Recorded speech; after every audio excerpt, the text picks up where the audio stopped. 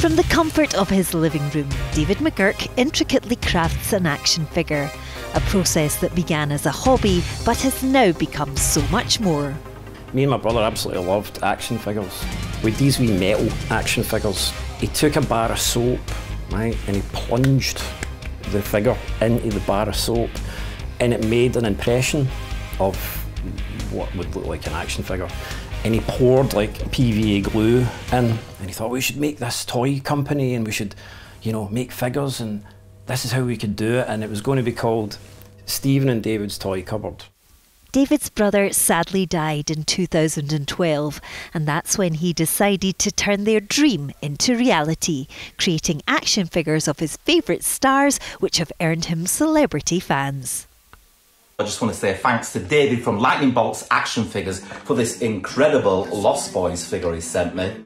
But it was a recent commission to create 50 models for a Nissan advert shown at the Super Bowl, which has really catapulted him to action figure fame. Once I'd signed the non disclosure thing, they just sent it through and said, This is who you're going to be making. None other than Hollywood star Eugene Levy.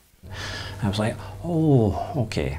So I know he's a kind of national treasure, I feel like, over there. Um, and to us, he's probably the dad from um, American Pie uh, and stuff like that. Uh, but it was incredible. Would you like to do this full time?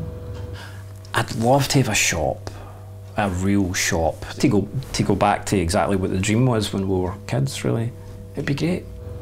And have you got any dream celebrities that you'd love to meet before? Out of all of the celebrities that I've ever made, none are more popular than yourself. So I decided to make you. Oh my goodness, that is the best thing I've ever seen. Thank you, David. Look out for the rest of Team STV coming soon. Laura Boyd, STV News, stuck in a tiny plastic box.